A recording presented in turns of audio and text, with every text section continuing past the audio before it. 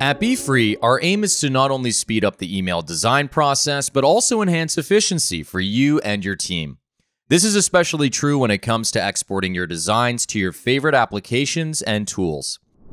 In this lesson, we'll learn what a connector is, we'll understand how it streamlines your email marketing workflow, and we'll walk through the steps to export your emails using connectors. So, what is a connector? In Beefree, connectors are a handy tool that lets you export your designs to an external application or tool. At its core, it's an integration that lets you connect directly to applications like Salesforce, HubSpot, and other popular email sending platforms directly within Beefree.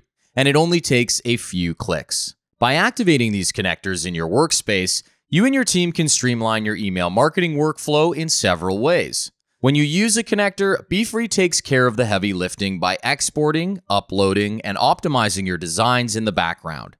This not only saves you time, but also reduces the chance of errors that might arise if manually exporting or uploading HTML designs yourself. On top of that, it improves the overall management of your email campaigns, allowing you to seamlessly transition from design to delivery. This lets you get the most out of your email sending platform so you can harness its features, automations, and scheduling tools to help you push your content across the finish line. There are a few ways to activate a connector in Beefree.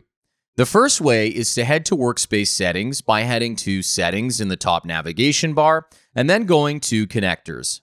Another way to activate a connector is in the Email Details page of your email. Here, you can select Export and then push to your sending system. Alternatively, you can access this same feature in the Projects tab.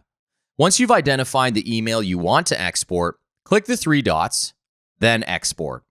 And again, choose push to your sending system. Now, let me show you what it looks like to activate a connector. Let's click on the Gmail connector. We'll then need to click this link here, where we are asked to sign in to our Gmail account.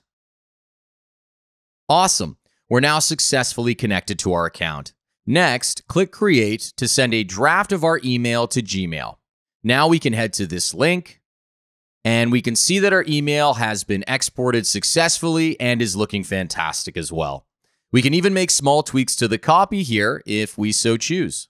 But for any larger changes, we do recommend making those in Beefree and then re exporting your design to Gmail again. This ensures your designs are fully optimized for your sending platform. If you found this video helpful, don't forget to subscribe to our YouTube channel for the latest news, updates, and tutorials. Thanks for watching.